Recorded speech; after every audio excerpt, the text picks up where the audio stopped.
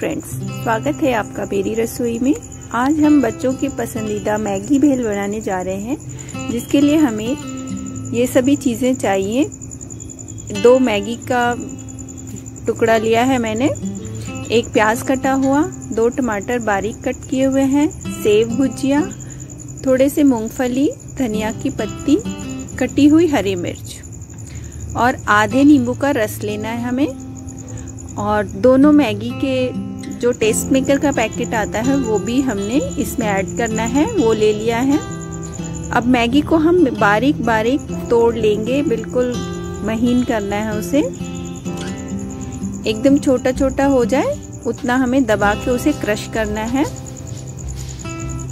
ये देखिए, इस तरीके से दबा के हमने तोड़ दिया है, सारी मैगी को टुकड़ों में कर दिया है।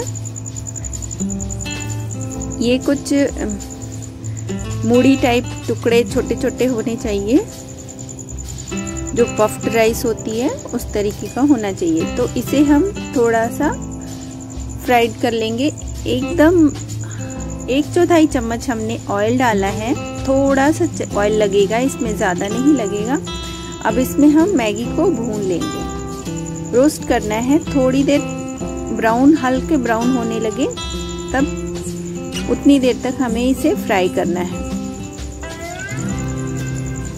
और उसके बाद और सारी जो मूंगफली है, उसे भी हम फ्राई करेंगे। वैसे भी मैगी का नाम सुनते ही बच्चे बहुत खुश हो जाते हैं तो मैगी भेल बोलेंगे तो वो और भी ज़्यादा खुश हो जाएँगे कि कौन सी नई चीज़ आ रही है खाने में स्नैक्स में। तो आप शाम को बहुत ही इजीली बन जाती है। ये देखिए, मैंने पीनट भी थोड़ी सी इसको भी रोस्ट कर लेंगे। ड्राई रोस्ट करना है। आप चाहें तो मैगी को भी ड्राई रोस्ट कर सकते हैं, क्योंकि ऑयल की इसमें ज़्यादा ज़रूरत नहीं है ऑयल की। तो देखिए, मूंगफली भी हमारी रोस्ट हो गई है। अब बाकी की और चीज़ों को हम इसमें ऐड कर लेंगे। तो ये चॉप्ड ओनियन गया। और जो हमने मिर्च काट कर रखी है, अब वो भी इसमें ऐड कर देंगे। ये बहुत ही क्विक है इजी है। शाम को आप बच्चों को बनाकर कभी भी दे सकते हैं। और ये बाकी सभी चीज़ें भी घर में इजीली मिल जाती हैं। तो टमाटो को भी हमने बारीक बारीक कट कर लिया है और ये टेस्ट मेकर है उससे भी हम डाल देंगे। तो दो मैगी लिया हमने तो उन दोनों के टेस्ट मेकर को हम इसमें डाल देंगे।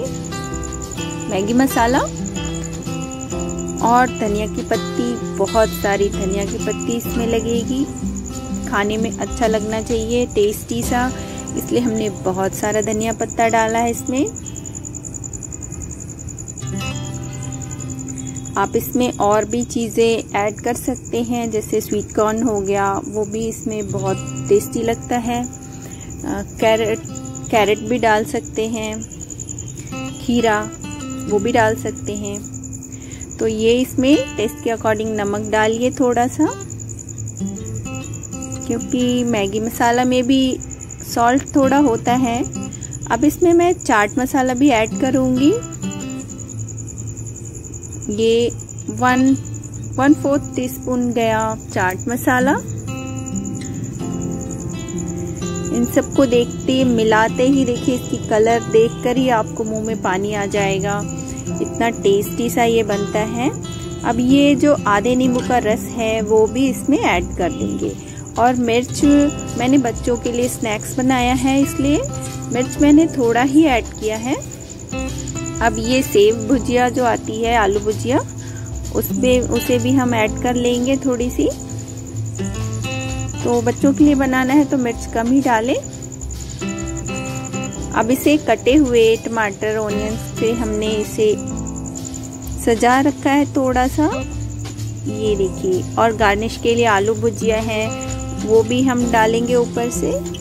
तो देखने में भी देखिए, ये अच्छे लगने चाहिए। वैसे ही मैगी के नाम से बच्चे इसे खा लेंगे, बहुत ही प्रेम से, बहुत ही प्यार से खाएँगे इसे। मैगी तो आप किसी भी तरीके से दीजिए, बच्चों को बहुत ही पसंद आती है। तो आप सबको ये आज की वीडियो हमारी कैसी लगी? अच्छी लगी तो प्लीज़ लाइक करें शेयर करें सब्सक्राइब करें।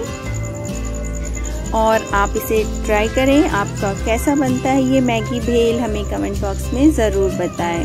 फिर से मिलते हैं फ्रेंड्स नेक्स्ट वीडियो में। Bye bye